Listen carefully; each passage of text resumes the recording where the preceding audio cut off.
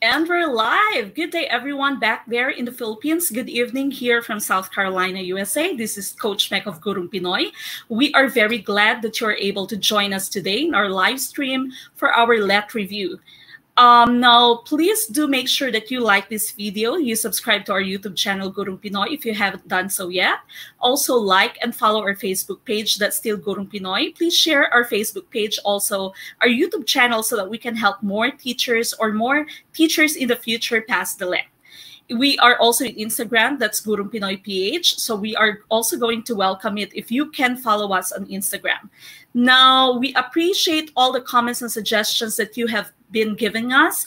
Um, I will try my best to discuss everything that you have suggested in our coming videos. So make sure that you continue watching all of the videos that we've prepared for you.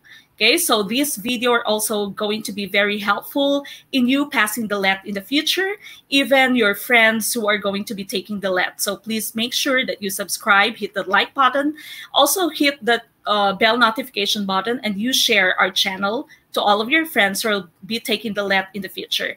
Okay, now in this live stream, I'd like you to please stay interactive. Say hi if you're here. And also don't forget to leave your comments so that we'll know that you're all watching our videos. Okay, um, as you know, I am a teacher here in South Carolina. And if it's not for COVID, I will not be able to put up and maintain this channel. So I'm very glad to be of service to all of you. And I will make sure that I could I would help you pass the LET. So before coming here in South Carolina, we had a review center, what which was located in Iloilo City. It was called Study Link Review and Tutorial Center. And we still have ample of materials that can help you pass the LET. So make sure again that you hit that subscribe button, like this video, say hi so that I'll know that you're here and that I would be inspired in discussing this topic that we have.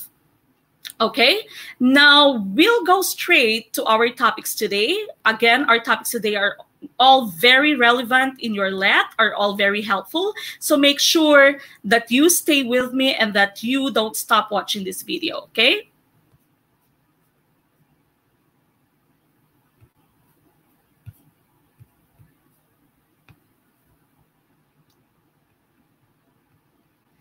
All right, now let me go to our topics today. Okay, so today's topic are the foundations of education. And the foci of today's discussion are going to be the following. We will be talking about the philosophical foundations of education in the Philippines, the religious foundations, also the social foundations, the history of the Philippine education, and of course, the relevant laws in Philippine education. Now, I will not be dealing really uh, in depth with the philosophical uh, philosophical foundations of education because we already have a video on this. If you haven't watched it yet, then make sure that you watch that video. The title of the video is The Isms of Education. You can see the thumbnail there. That's also part of our playlist for professional education. If you haven't checked our playlist yet, make sure that you check all the videos there because we have already prepared all the videos there of different discussions which are all part of the licensure exam for teachers. We also have some videos for general education, so make sure that you also check that playlist. So again, I will not be dealing in depth with all the philosophical foundations of education since we already have a previous video, a separate video for this. Okay, but again, remember that we have so many philosophical foundations in our education. I've only listed the five major ones here.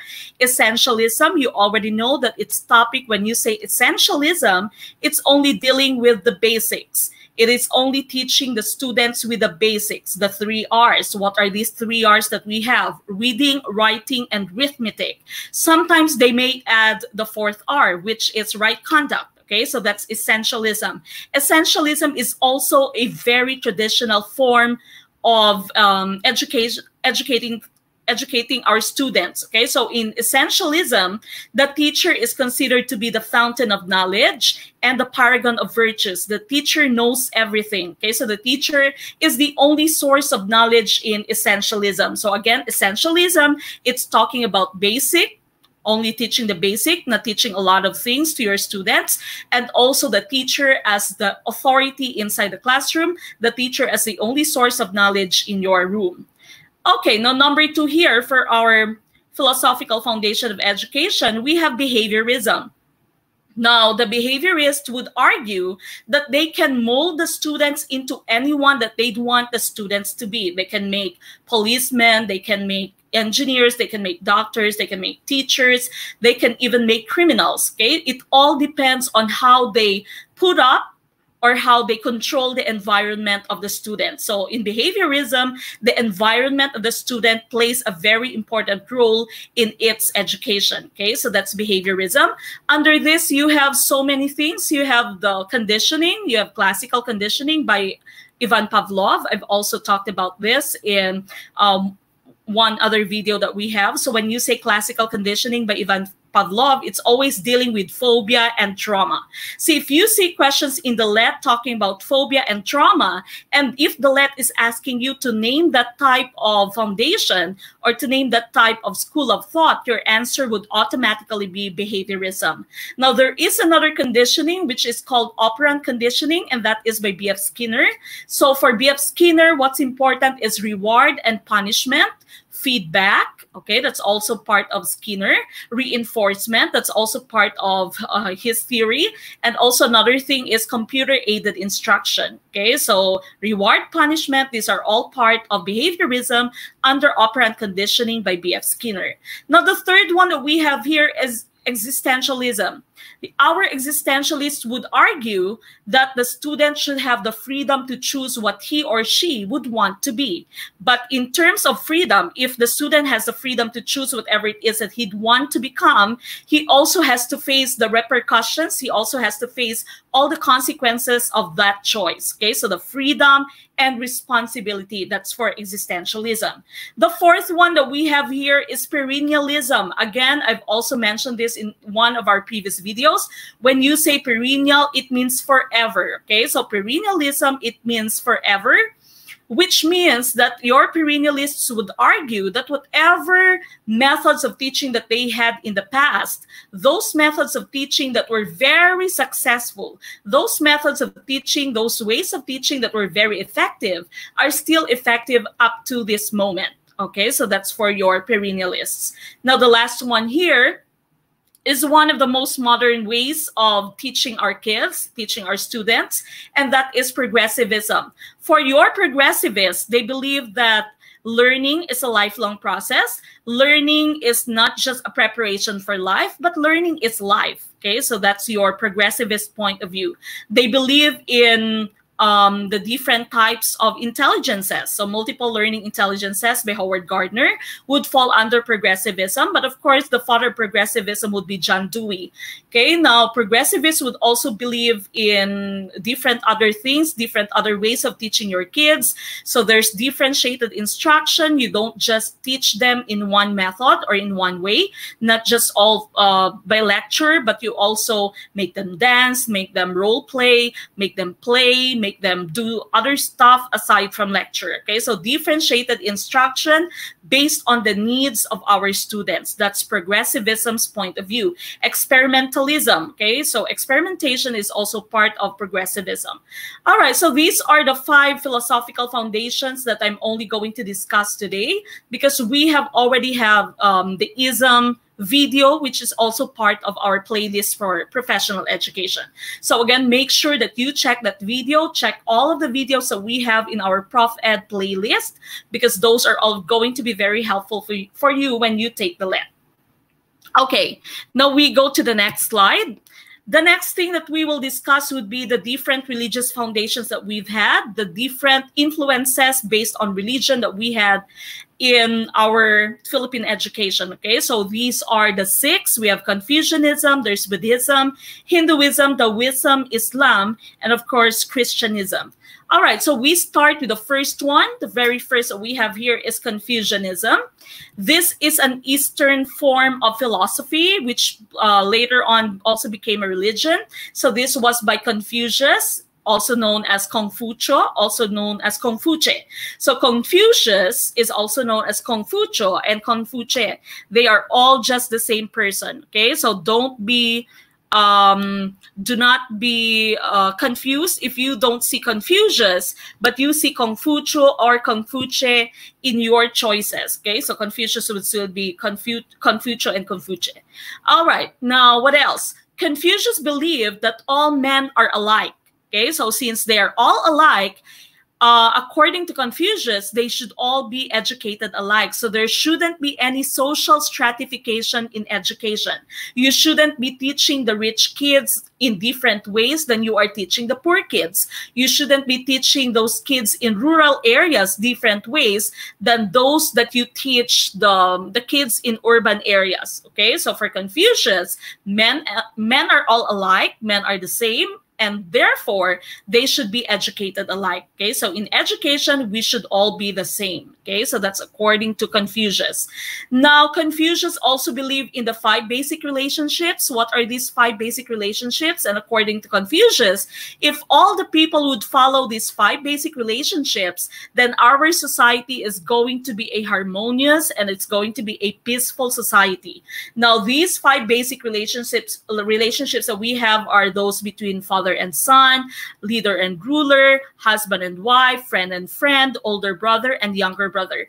Now, before I forget, if you can help it, and if you may, you can just get uh, a piece of paper or maybe your notebook every time that you listen to me discuss, even if you are watching a live stream or even if you are watching the usual videos that I upload, make sure that you have a piece of paper and a pen with you so that you can jot down all the important stuff that you need to jot down. Okay. Everything that I'm talking about are coming out in the lab. I know this from my experience since we had a review center back then in Iloilo and we have helped very people pass the lab. Okay, so we know how the lab works.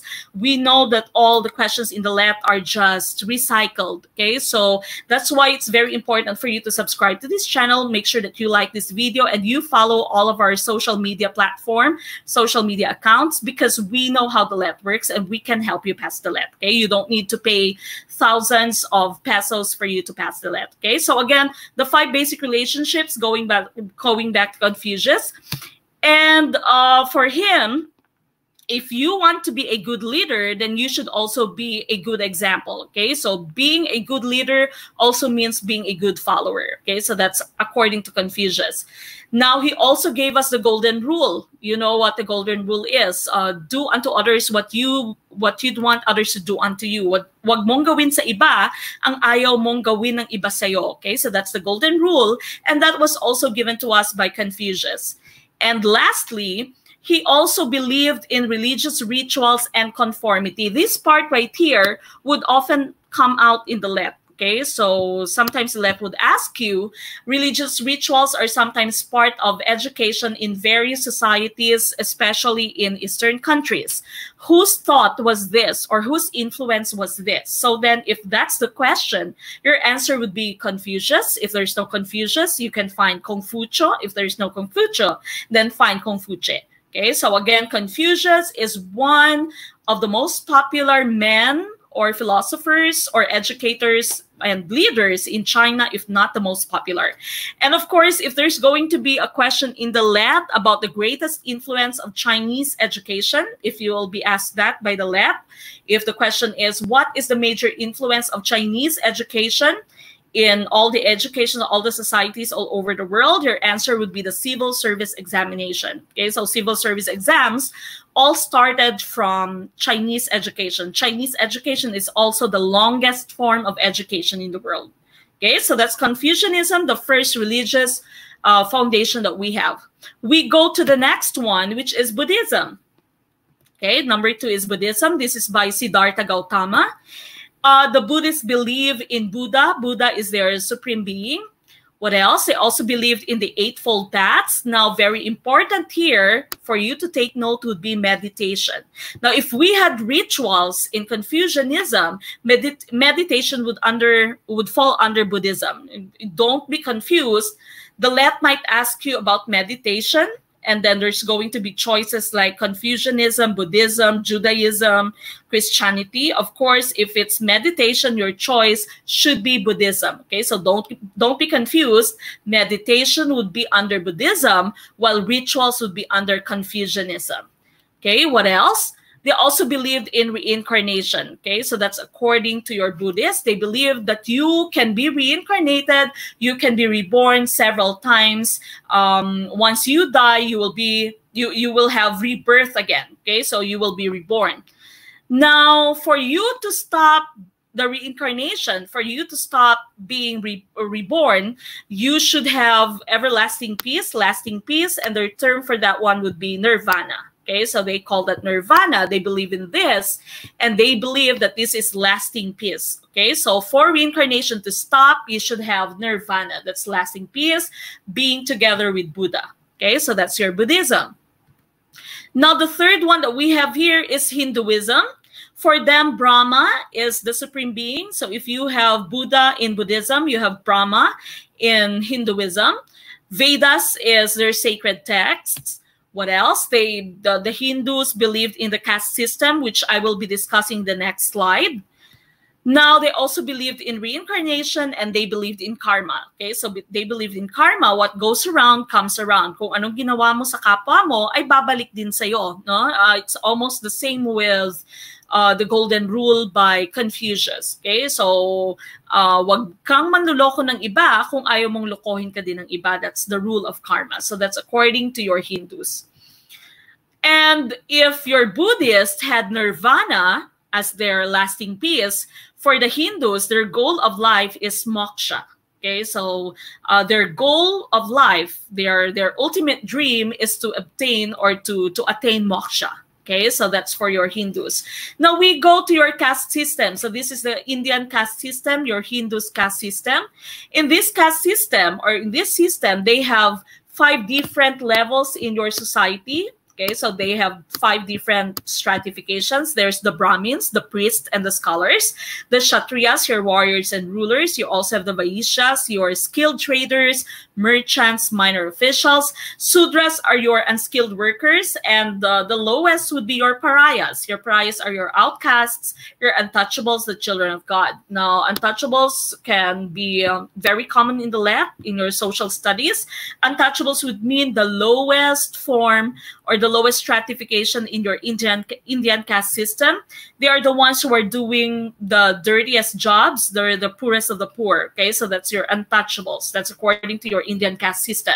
Now, your Indian caste system, they believe that you cannot intermarry. Okay, so if you were born a pariah, you will live your life and you will die as a pariah.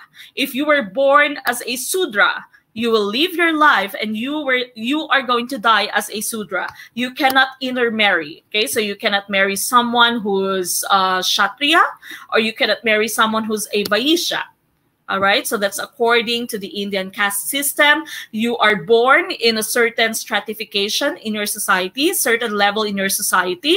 You can only wear that uh, those clothes that are accorded that level. So you can't wear certain forms of jewelry that are not um, allowed for your level to to wear, and you are going to die also in that level. So walang improvement ang iyong life. That's according to your Indian caste system. You cannot improve your life through education. You cannot improve your life through marriage. Okay, so you are born and you'll die in one level of your society. Okay, now we go to the fourth religious foundation that we have here, and this is Taoism. Okay, this is by Lao Tzu or Lao Tse, the same person they believe in Tao. Tao is the way. So when you say Tao, the way, this means being harmonious with uh, nature. Okay, so following the way of nature, following the way of nature. Don't change your faith.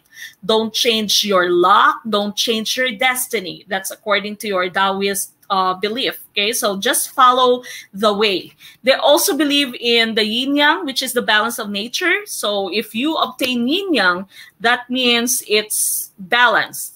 Okay, nature is balanced, there's harmony. Yin here is oftentimes considered as the bad side, and yang is considered as the good side. So if you have a combination of both of them, the yin and the yang, that means nature is in harmony. Okay, there's balance. So it does not mean that everything should always be good. Okay, in life there would be bad times, but there would also be good times. There would be sour sour things, and there there'd also be sweet things. Okay, so that's according to your Taoist. And very important, do not do anything that's against your destiny. Do not do anything that's against your your luck or your fate. Just follow the way, be in harmony with nature. Okay, now next one is Islam. This is, of course, the religion of our Muslim brothers and sisters. This was by their Prophet Muhammad, peace be, uh, peace be upon him. Muhammad, sometimes called Muhammad with letter O, sometimes called Muhammad, okay, the same person. And Allah is their supreme being. Uh, the Quran, the Holy Quran is their holy text and they believe in the five pillars of the Muslim faith or the five pillars of Islam. Hajj is once in a lifetime you need to go or they need to go to uh, mecca or to medina to to praise god or to praise allah. Giving of charity especially during ramadan. Fasting during ramadan that's the third pillar. Salah is praying five times a day. I used to also teach in saudi arabia. I've taught there for two years from 2014 until until 2016 and they've prayed uh, the muslim brothers and sisters that we had there they pray five times a day. Okay, so once they're praying, we cannot do anything but wait for them to be done. Even if we are inside the mall, we need to go out and to stay outside and wait for them to be done praying. Now, the next one is Shahada. Shahada is their declaration of faith to Allah. Okay, so these are the beliefs of our Muslim brothers and sisters, the, the beliefs of Islam. Now, of course, one of the most popular religions, if not the most popular, is Christianity. And um, we have in Christianity, we have Christ, of course, as the supreme being. The Bible is our holy text. We believe in the Ten Commandments. And of course, we also need to follow the seven sacraments. Seven sacraments, this would include baptism, um, confession, wedding, Okay, so these are all part of our seven sacraments. All right, so those are the religious foundations that we have. So we're done with philosophical foundations. Again, just find the video that we have here for the ISM, for the complete guide in philosophical foundations. Religious foundations, we're also done with this. So we still have the three foci that we have left here. So the social foundations, history of Philippine education, and relevant laws in Philippine education. Again, if you're watching, please say hi to me. Please leave your comments there, your suggestions, anything to let me know that you're still watching. If you'd want to support Gurong Pinoy, we also have our super chat and super stickers there. So um, go ahead and do that. So we'll continue. Again, we're done with the first two. We still have three, four, and five. So we go to the social foundations of education now, just very briefly.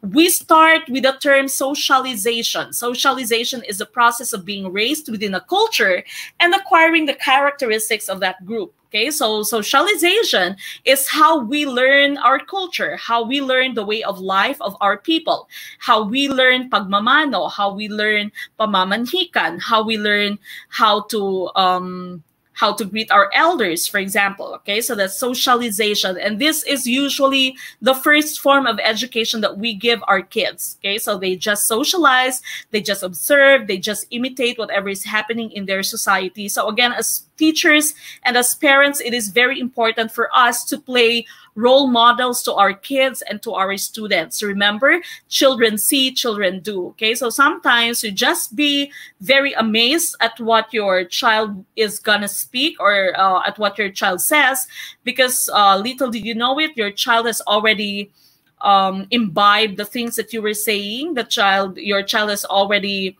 been influenced by all the people around him okay so be very wary be very careful when you're talking around kids and when you're acting around kids, okay? Because they're very sensitive, they're very absorbent. Ika nga, no? They're like sponges. They can easily follow and imitate whatever it is that they see the adults are doing.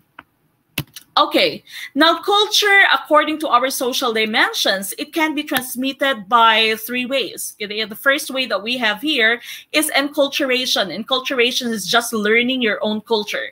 Now, common questions in the lab um, for number one, enculturation, there are certain questions in the left like, um, you live in an agricultural part or you, you live around coconut plantations and your father is teaching you how to make copra. Okay, what form of transmission of culture is shown here.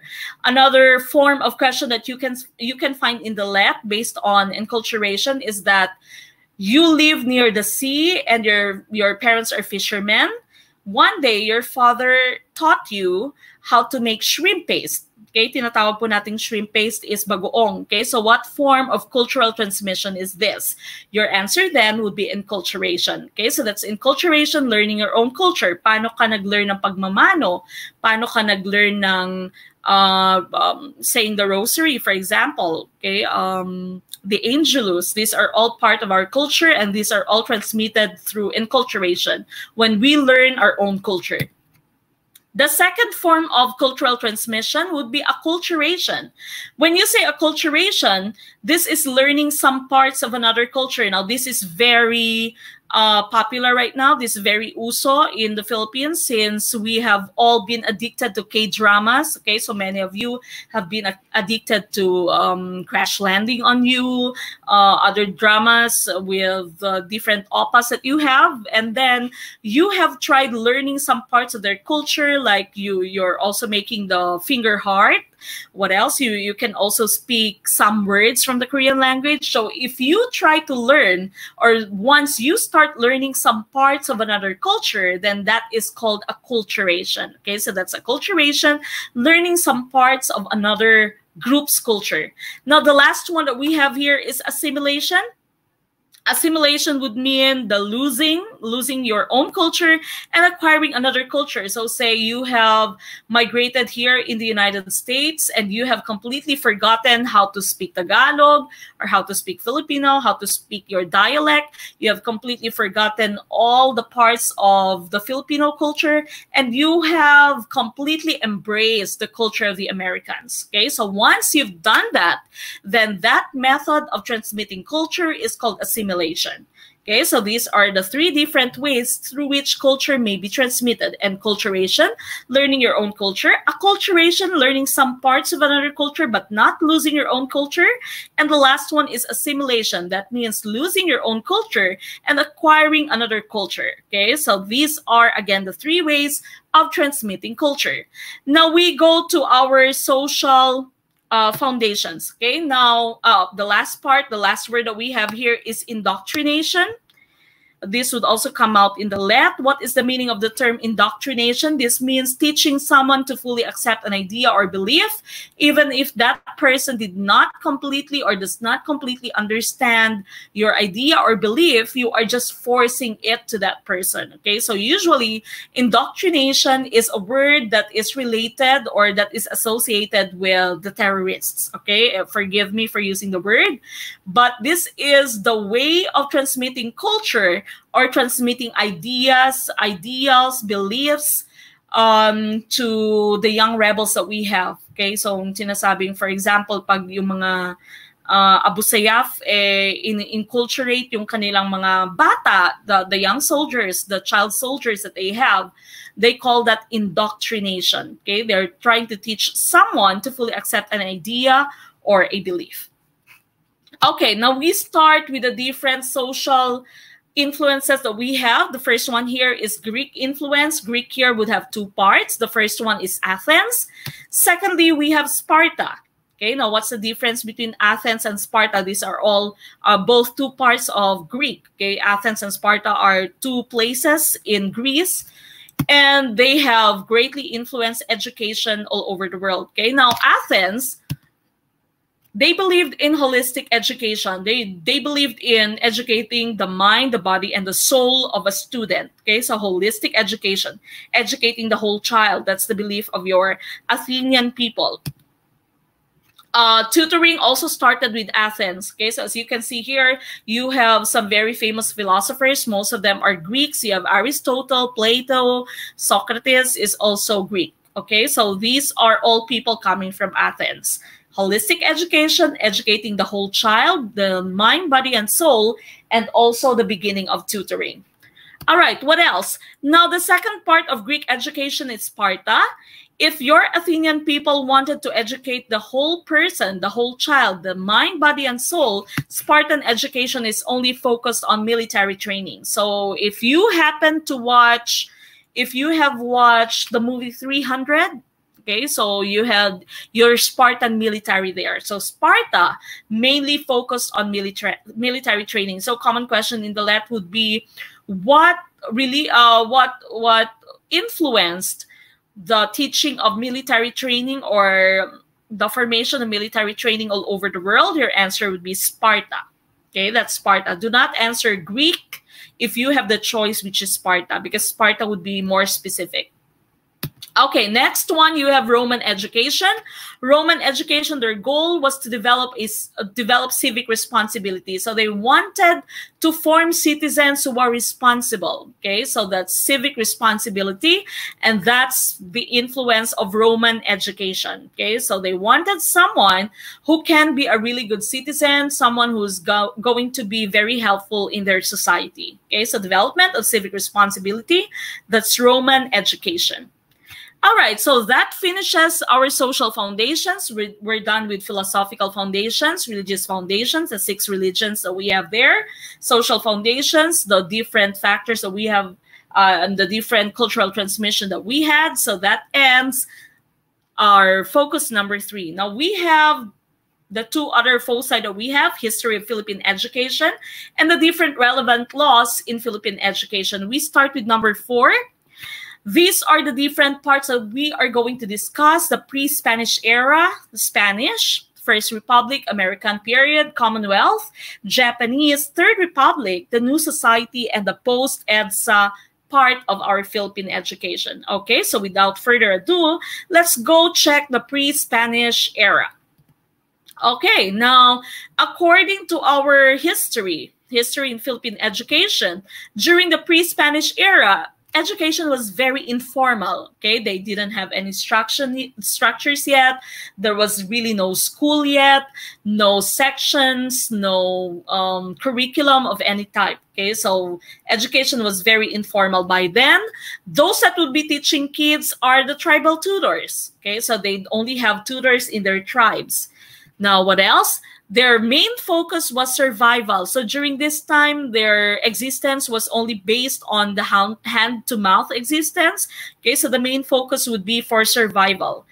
And um, their method of learning would be by show and tell, by imitation. So again, very informal form of education. It's only taught by the tribal tutors, and their focus was by survival. So they were taught how to catch fish, how to kill boars, for example, how to plant. Okay, so very informal form of education that was during the pre-Spanish era.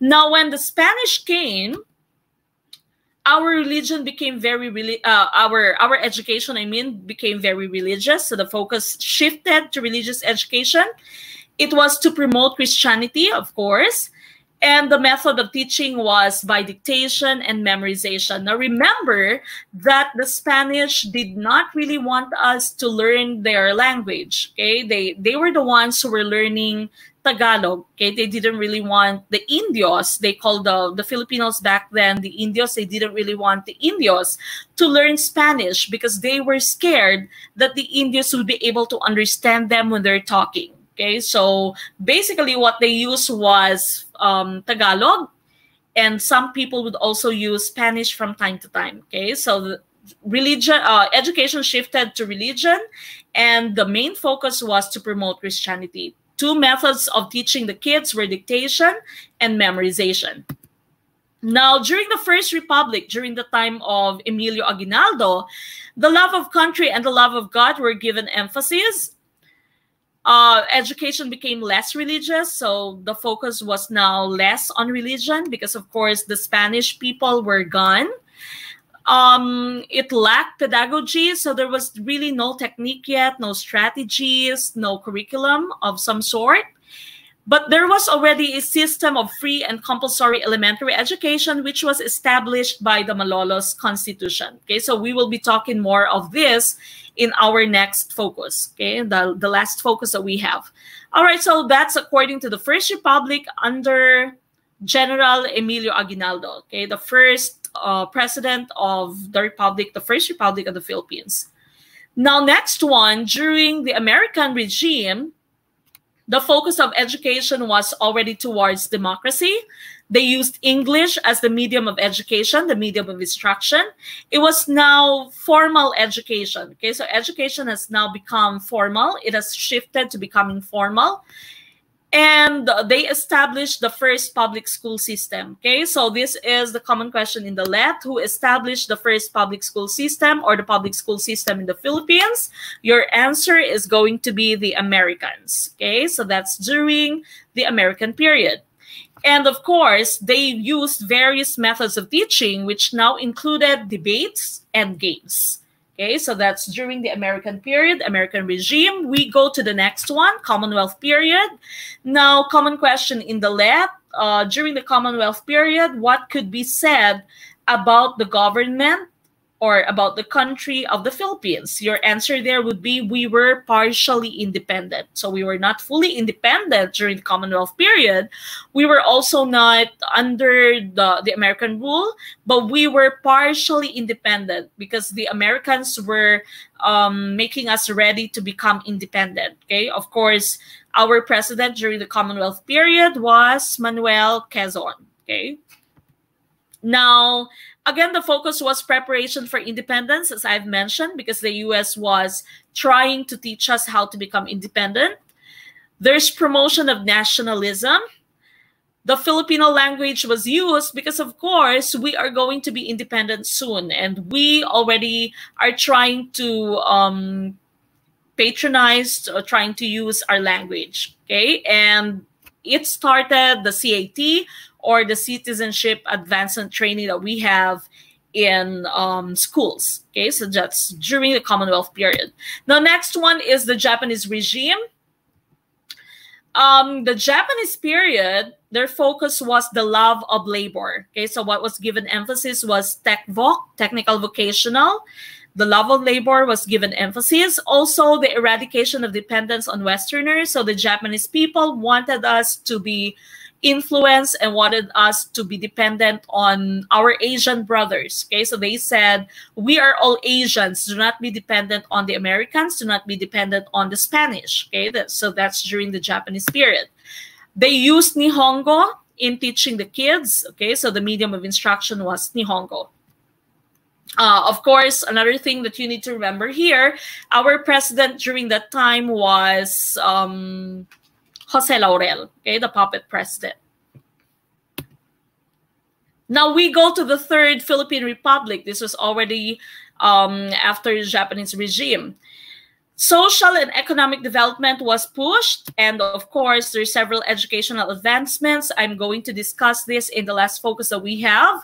Now, of course, the, the, the president during the Third Republic was Manuel Roxas, which is or who is the Lolo of Mar Roxas. Okay, so he is the president of the Third Republic. Now, under the new society, in the new society was already under the former president Marcos. And here, Department of Education and Culture was established in 1972, which was later on changed to the Ministry of Education and Culture in 1978. Okay, so they established or they created 13 regional offices for education and there was a major organizational change okay? There were lots of organiz- organizational changes during um, the new society which was already part of the marcos regime okay? So again take note 1972 department of education and culture was established and it was changed in 1978 to the name ministry of education and culture. Now after edsa this was already the time of the former president Corazon Aquino. We have the Ministry of Education, Culture, and Sports, or MECS, in 1982, established in 1982. And it was later called Department of Education, Culture, and Sports, or DECS, in 1987. Okay, so 1982, MECS, Ministry of Education, Culture, and Sports. 1987, it was changed to the Department of Education, Culture, and Sports. Now we're done with the history of Philippine education. Now we go to the last part. I again, I would suggest that you get a piece of paper, your notebook, your pen. Also, next time in our next live streams, I'd like you to please prepare your notebooks, your pen, so that of course um, there are some things that you might forget And so it's going to be better if you have them on paper so you can just easily review them once we're done with the live stream. Okay, now the last part that we have, which is also very important, also one of the most important topics in the LET would be the relevant laws in Philippine education. We start the Educational Decree of 1863, this was during the Spanish period. And this was an effort by Spain to reform or to change the Philippine colonial education system. They required two elementary schools in each towns. Okay, so each towns, each municipality should have two elementary schools, one for girls and one for boys. They also established the normal schools. Now, when you say normal schools, these are schools for high school graduates that would want to become teachers. Okay, so the normal school was established by the Educational Decree of 1863, an effort by Spain to change our colonial education system, giving rise to two elementary schools in each town. Okay, next. We have the Malolos Constitution in 1899. This is also called the first Philippine Constitution. It might come out in the LET. The LET might ask you in the social studies what is known as the first Philippine Constitution or maybe social studies major. Uh, Malolos Constitution is, of course, known as the first Philippine Constitution. It was headed by Felipe Calderon or written by Felipe Calderon y Roca and Felipe uh, Buencamino. And this gave us the free and compulsory elementary education. Now, I think I have discussed this in one of our videos where we had the actual LET questions. What is compulsory in the Philippines and free would only be elementary education. So both elementary and high school education are free, but only elementary education is compulsory. Okay, that means some people are allowed to not undergo or to not study in high school. Okay, so even if you don't study in high school, you are not going to be held uh, liable for that because it's not really compulsory to study high school in the Philippines. Only elementary is compulsory, but both elementary and high school are free. Next one, your Schurman Commission in 1899. This is also called the Second Philippine Commission, Schurman Commission. Uh, uh, no, this is the first commission. I'm sorry. This is by United States President William McKinley on January 20th, 1899, and this gave us adequate, secularized, and free public school system. Okay, so the LET might ask you what gave the Philippines its free public school system. Your answer would be the Schurman Commission. The LET might also ask you what is considered as the first Philippine Commission. First Philippine Commission was also the Schurman Commission. Okay, tandaan, sure na sure, ito po ang ating first Philippine Commission. So, Philippine Commission, the first one would be the Sherman Commission. It was enacted upon in 1899. Now, the meaning of the term secularized here would be the shift less na into religion. Okay? Less na yung focus natin into religion. So, adequate, secularized, and free public school system. Now, the next commission, this is known as the Second Philippine Commission, and that's the Taft Commission. And this gave us free primary instruction that trained the people for the duties of citizenship. Okay, so free primary instruction that trained the people the duties of citizenship, that would be the Second Philippine Commission, is also known as the Taft Commission. Next one. We have Act number 74 enacted upon in 1901. This gave us the centralized public school system, okay, centralized public school system. And because of this, because of the centralization of the public school system, there was a heavy shortage of teachers which resulted to the arrival of the Thomasites. Okay? Dahil po sinentralize na ang public school system sa Pilipinas, nagkaroon po ng shortage ng number of teachers dahil kinailangan ng maraming guro. And so what happened was that the Americans sent 600 people to become teachers and they were called Thomasites. Now, this is a very common answer sa question sa let mo, no? Pag sinabing Thomasites, this was or these were the first teachers in the Philippines, okay? First, uh, they, they were considered the first teachers in the Philippines. They were called Thomasites because they embarked or disembarked from the MSS Thomas. Okay, pangalan po ng barko yung Thomas, MSS uh, Thomas, yung pangalan ng barko kung saan sila sumakay papunta ng Pilipinas and so they were called the Thomasites. Now, the Thomasites were not really teachers.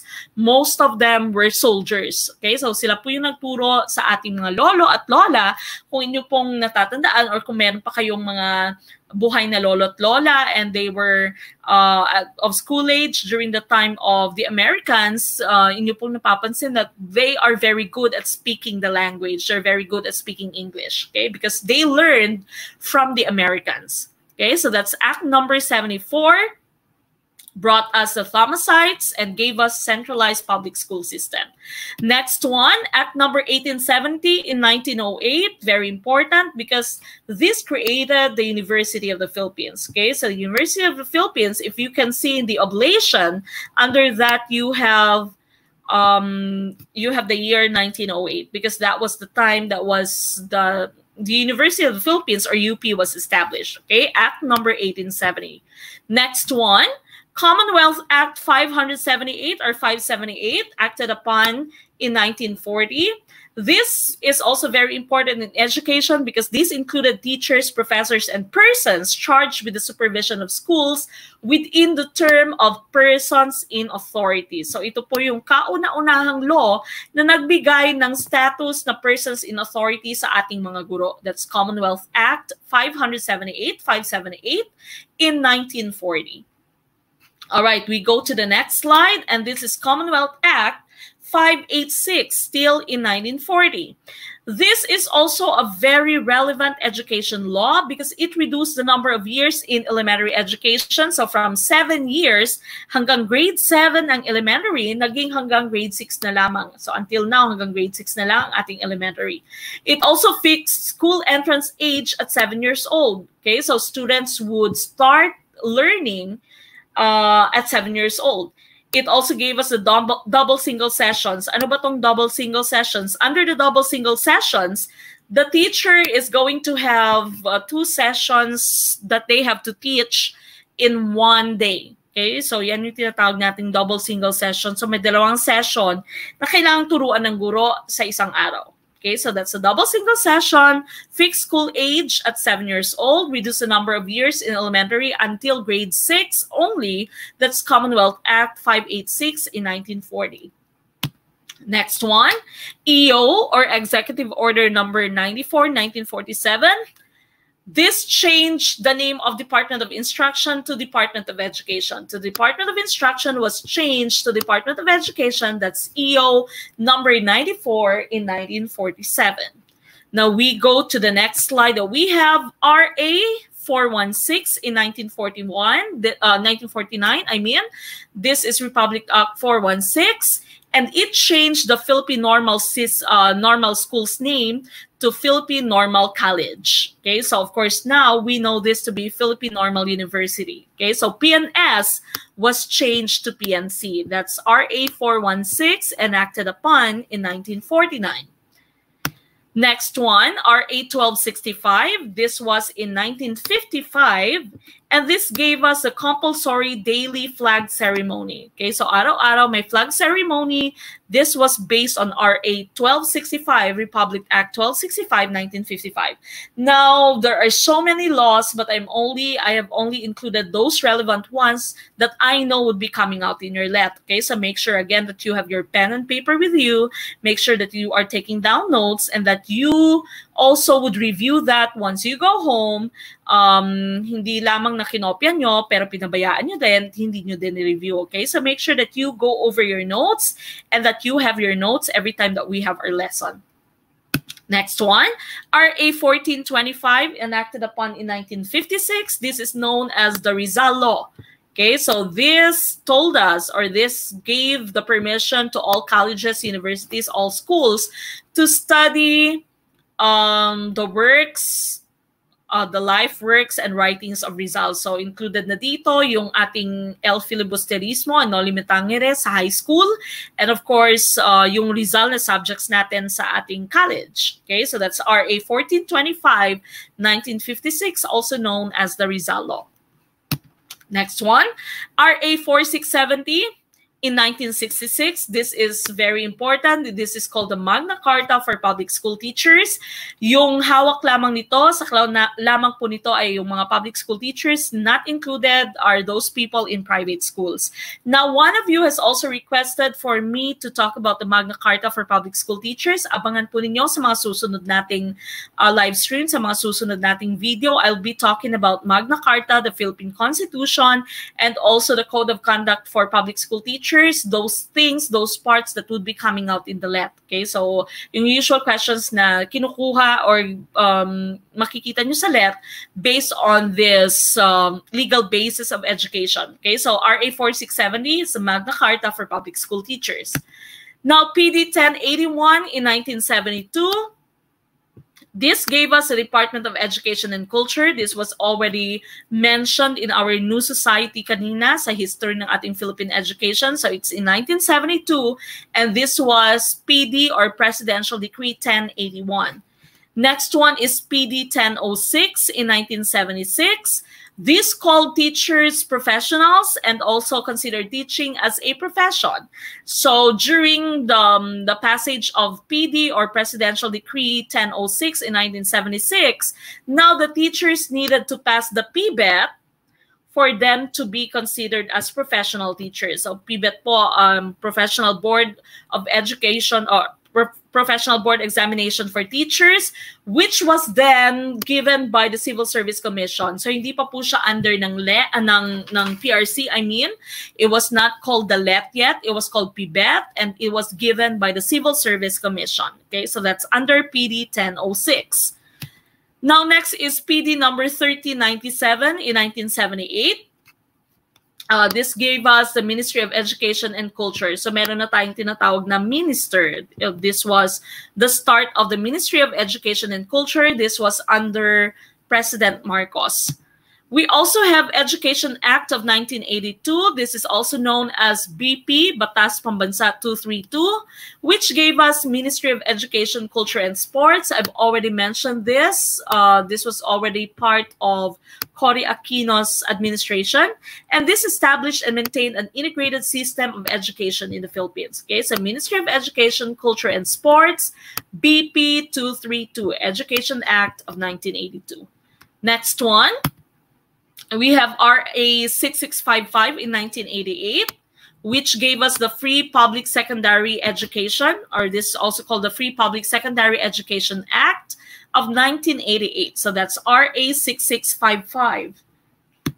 Next one is EO number 117 in 1987, Executive Order number 117. I've also uh, mentioned this a while ago. It's Department of Education, Culture, and Sports.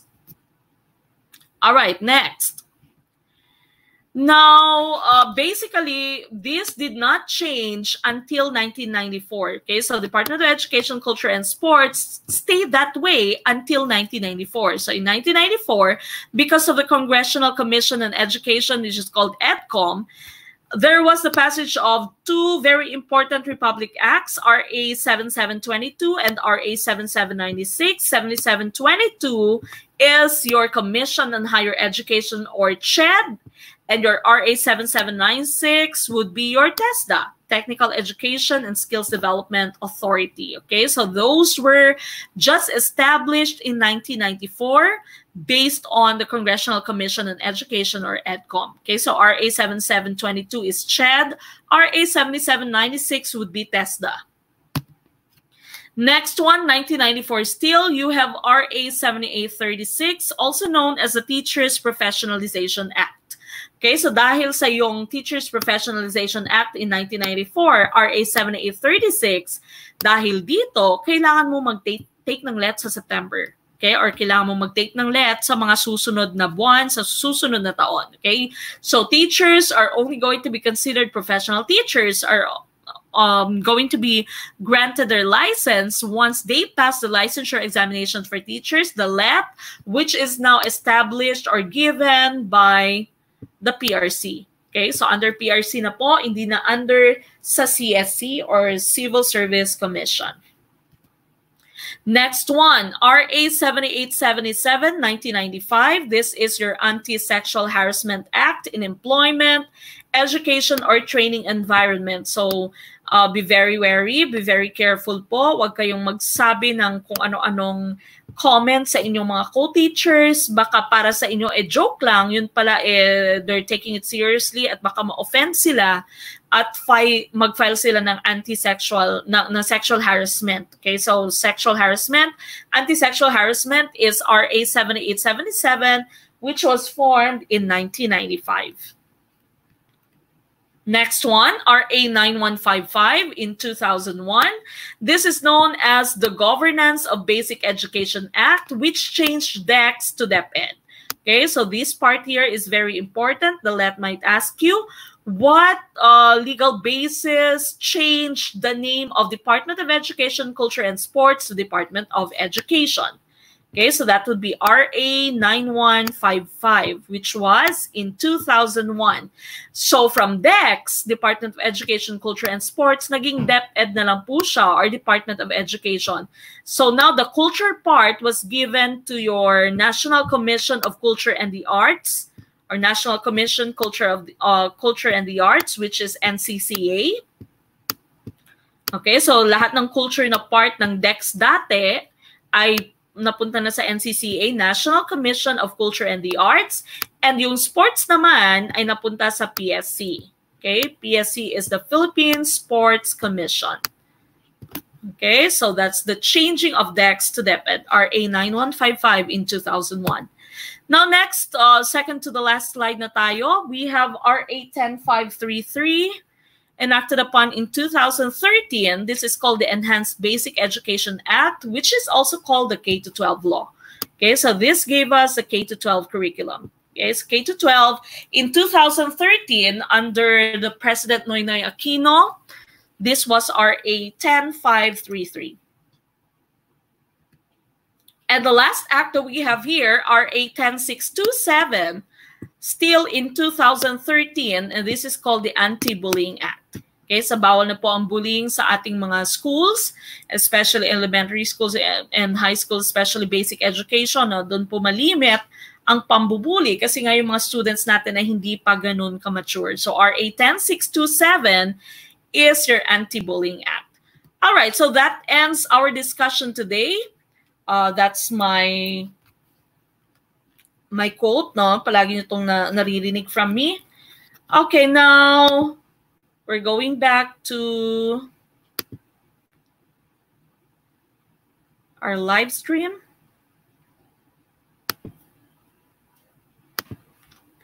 Okay, so that ends our discussion today. So again, make sure that you subscribe, you like our video, you also follow our Facebook page, follow our Instagram Instagram account, and you share all the videos that we have. Please do come back.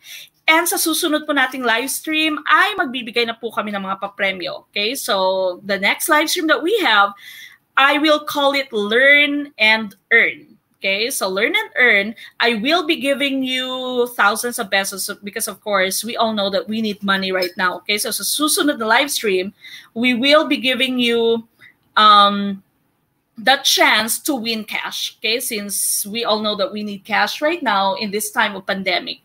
So again, thank you so much sa lahat po ng nag-comment. Let me check all the comments that you have. Okay, so there is Ma'am Early Lauron. Salamat. uh, Ma'am Annalisa de la Cruz, King Ray, HMD, Ma'am Gemaline, Wash Hands, Sir Dennis. Okay, so these are the usual people that I'd always see commenting. Okay, so thank you so much. Hi, ma'am. Napakasarap pakinggan yung boses mo. Thank you, Sir Jenny Mar.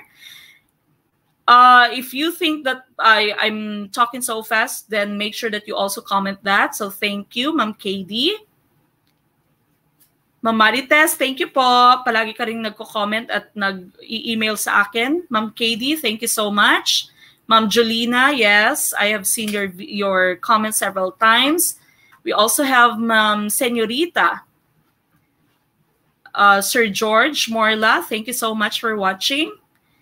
Sir King Ray, yes, thank you so much. So again, next time, I will be using your comments as basis for those people who are watching the live stream, and we are going to have a raffle at the end of the live stream, okay? So next time, we are going to give you, uh, we'll see if we'll have more uh, people coming and watching the live stream, then we can have more more money to give away. Okay, so maybe we can have 5,000 pesos as our giveaway next time. I would have to check with my husband.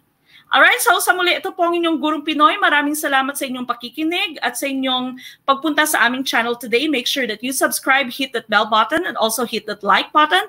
Follow us on Facebook and also on Instagram. Going to, um, we are going to be updating you of our next videos. Mama Nissa, thank you so much. Uh, sa muli, ito po yung gurong Pinoy na nagsasabing maliit man na butil ng mga kaalaman, ang dulo nito ay malaking kaginhawaan. Thank you so much. Good evening, good night from South Carolina, USA. I will see you in our next video. Stay safe and stay COVID-free, mga kaguro. Thank you!